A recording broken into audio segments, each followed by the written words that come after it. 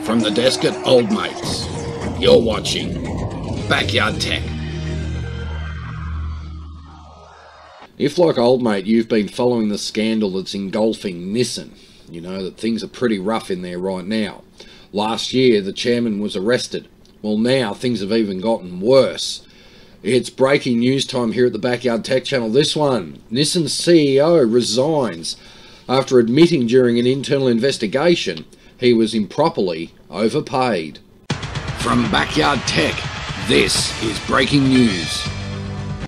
G'day everyone, thank you for tuning in. It is breaking news time here at the Backyard Tech Channel for a Tuesday morning. This one's just shown up on Twitter, and I thought I'd better have a bit of a sticky beak at this. Um, this the, Look, Nissan's in a world of pain at the moment, and this doesn't help their cause. This is from CNBC. Scandal at Nissan deepens after CEO Saikawa resigns after admitting he was improperly overpaid. Nissan Motor CEO Hiroto, Hiro, Hiroto, Hiroto, sorry, I'm terrible with Japanese names, uh, Saikawa, is stepping down after an internal investigation revealed falsified documents that boosted his compensation in 2013. The change increases his compensation by about 96.5 million yen at the time, or roughly 900,000 US dollars based on current foreign exchange rates. Nissan Motor CEO Hiroto Saikawa is stepping down after an internal investigation revealed falsified documents that boosted his compensation in 2013 by 900,000 US dollars further deepening a scandal that erupted with the arrest of former chairman Carlos Goz, Ghosn last year. Quote, Hiroto Saikawa has indicated recently his willingness to resign, close quote. Nissan said in a press release on Monday. Quote, after discussion, the board asked him to resign as, re as representative executive officer and CEO of the company, effective September 16, and he accepted. Close quote. Saikawa will be temporarily replaced by Chief Operating Officer Yasa, Yasuhiro Yam, Yamuchi, the company said. I'm terrible with Japanese names, I'm sorry. Nissan expects to announce a successor for Saikawa by October.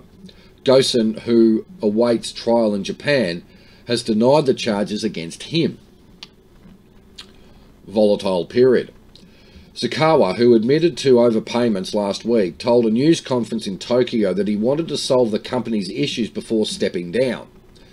And he apologised for not being able to do so, according to Reuters. He also said he would return the improper compensation. Well, there's a first. A CEO actually returned. Oh, that's the Japanese in it, though. But when you think about it, CEOs try to avoid returning any compensation. The banks, Ring a bell? Saikawa's admission of overpayment after a, after a year-long investigation adds to a volatile period for Japan's second largest automaker, following Ghosn's initial arrest in November. Quote, this comes at a very difficult time, close quote, Auto Trader senior analyst Michelle Krebs said Monday. Quote, they've got a lot of work to do so, to do, and without strong leadership, that becomes even more challenging. Close quote.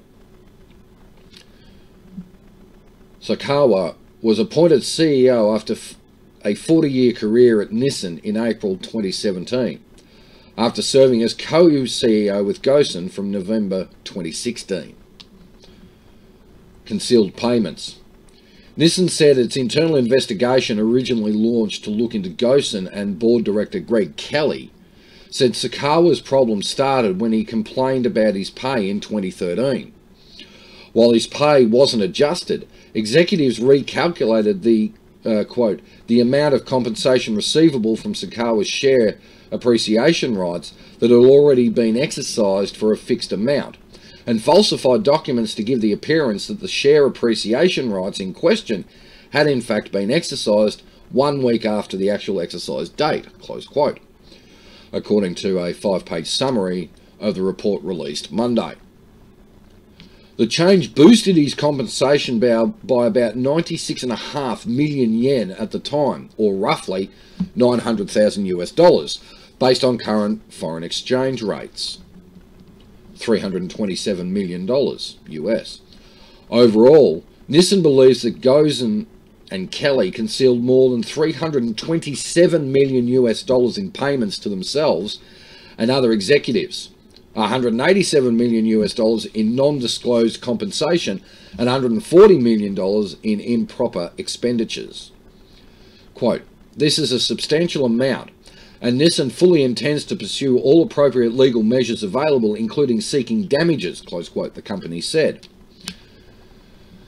Nissan does not plan to punish or hold others who benefited from Kelly and Ghosn's alleged misconduct responsible for the overpayments.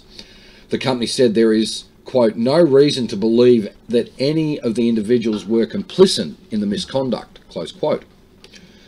Nissan is asking those who benefited from such overpayments to repay the overpaid amounts, regardless of their lack of awareness of the misconduct, close quote unquote. The total, according to Nissan, includes 84.8 million US dollars in pay as well as an additional 21.2 million dollars US in quote unquote shared appreciation rights for Ghosn. Nissan also said the report confirms Ghosn's alleged use of the company's assets for personal use, including 27 million US dollars for properties in Beirut as and Rio de Janeiro. 750,000 US dollars to Ghosn's sister as part of a fictitious consulting contract, quote unquote, and improper use of corporate jets and expenses for family members. I think it's fair enough to say he may have been acting as a typical chairman, if you ask old mate. What's next? Saikawa's resignation, quote unquote, doesn't come as a surprise. Excuse me, according to Krebs. However, in review, it renews questions about the future of the company and its global alliance with French automaker Renault and Japanese automaker Mitsubishi. Ghosn, who was the architect of the alliance uh, and served as its chairman. Quote, the biggest questions are what does the company do from here?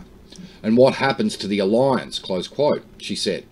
Quote, if you look back from the outside, it looked like the alliance was working well.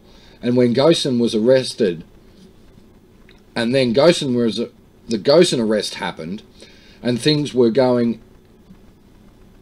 Uh, things going inside became evident to the outside world. Ghosn's arrest unearthed growing tensions between Renault and Nissan over the structure of the partnership specifically over voting rights.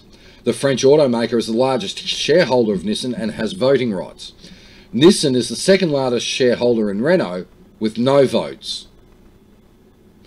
Nissan Mac Renault have been sort of in bed with each other for as long as I can actually remember. The alliance between Renault, Nissan and Mitsubishi has been built up over the last two decades and touted as one of the most successful in automotive history. Nissan and the French government each own 15% of Renault. In turn, the French auto holds 43% stake in Nissan. So things are just going from bad to worse for Nissan. I'm not I'm not going to be biased against Toyota here either. Toyota's got major trouble as well. We can't shy away from that. They've cheated. But this doesn't help the alliance between Nissan and Renault, let alone Mitsubishi. So trouble at Nissan is getting worse and worse. There we are. Breaking news here at the Backyard Tech Channel. Nissan's CEO steps down after improperly being paid. Stick around, more coming up. Have a good one all. Cheers.